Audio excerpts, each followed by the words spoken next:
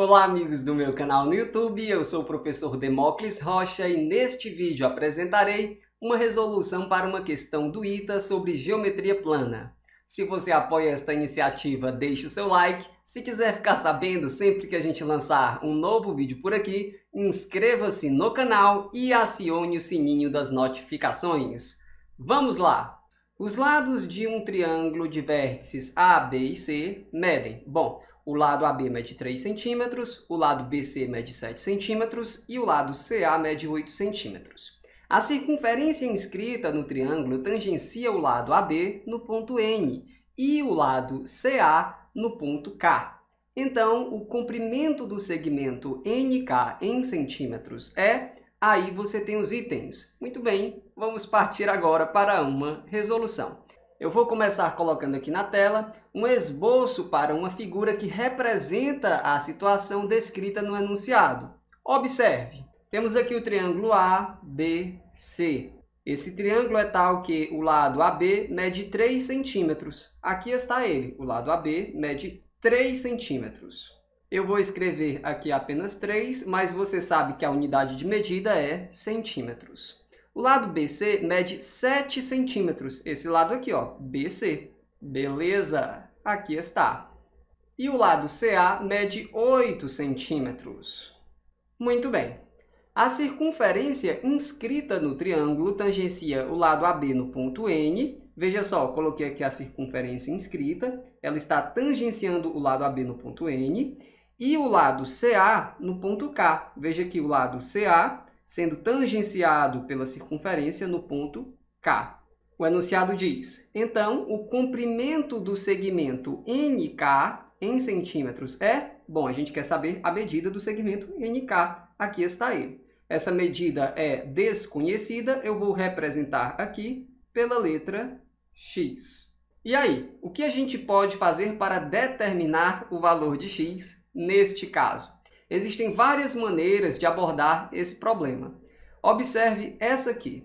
O segmento AN tem a mesma medida que o segmento AK.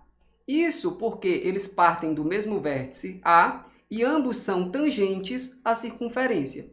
Então, se AN tem uma medida igual a Y, AK também tem uma medida igual a y. Veja que se a gente determinar o valor de y, a gente vai conhecer mais informações sobre esse triângulo aqui, em que um dos lados tem uma medida que justamente a gente quer determinar. Para seguir em frente, observe o seguinte. O lado AC tem uma medida de 8 centímetros, só que essa parte AK tem uma medida de y centímetros. Então, esta outra parte aqui tem uma medida igual a 8 menos y. Concorda comigo? o todo é 8, uma partezinha aqui ó, é y, então essa outra parte é 8 menos y.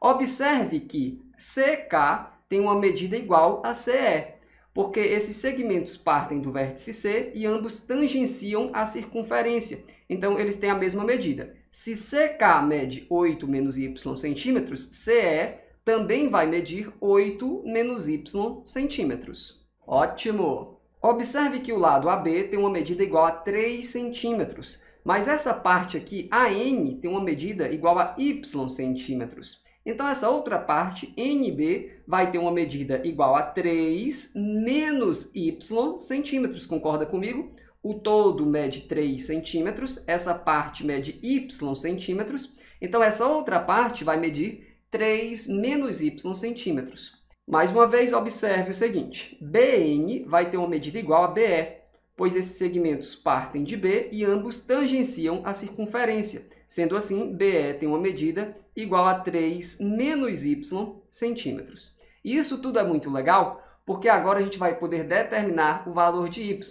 Observe que o lado BC tem uma medida igual a 7 centímetros.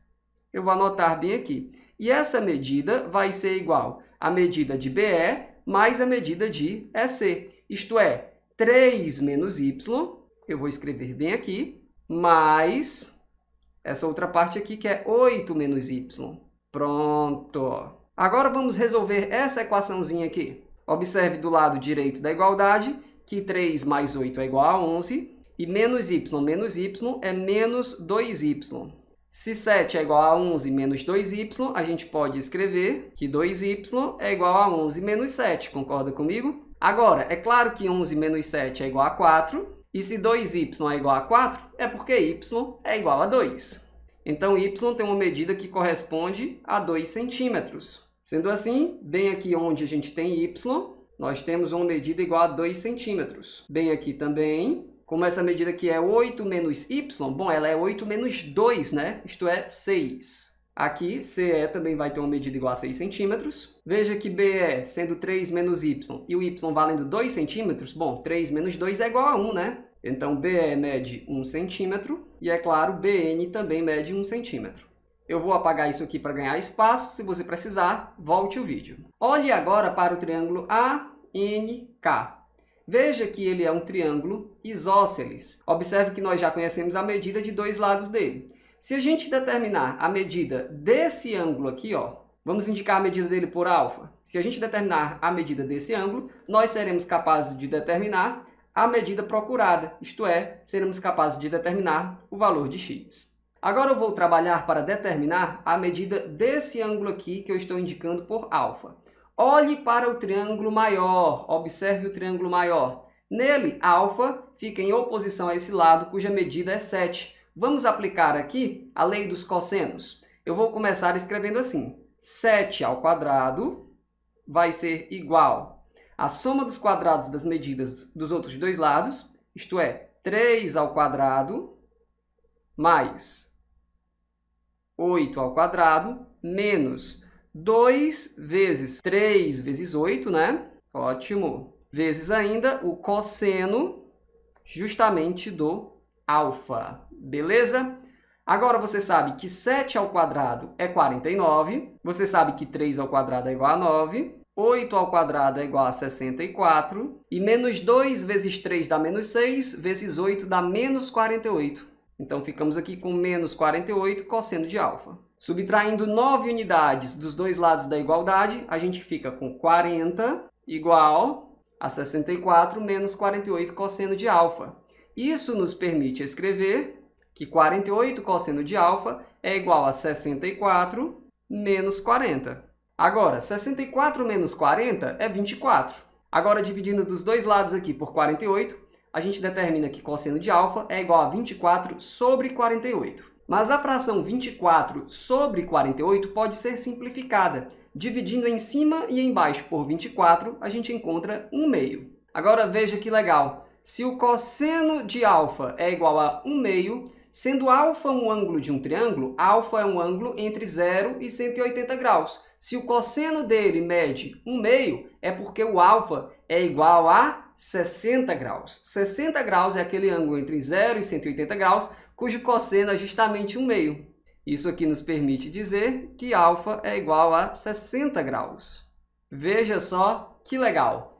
O alfa tem uma medida igual a 60 graus. Mas agora espera um pouquinho. O triângulo ANK é um triângulo isósceles e o ângulo do vértice mede 60 graus. Então, os ângulos da base, cada um também vai medir 60 graus. Eles têm a mesma medida então, cada um deles vai medir também 60 graus. Conclusão, esse triângulo ANK, ele é, na verdade, um triângulo equilátero. E isso deixa as coisas muito fáceis. Porque sendo ele um triângulo equilátero, qual vai ser o valor de x? x vai ser igual a 2. Isto é, x é igual a 2 centímetros. E sendo assim, a gente pode dizer que o item correto é o item A de avião. É claro, esse vídeo foi feito para te ajudar. Se ele ajudou, deixe um comentário com uma carinha sorrindo, eu vou gostar de ver.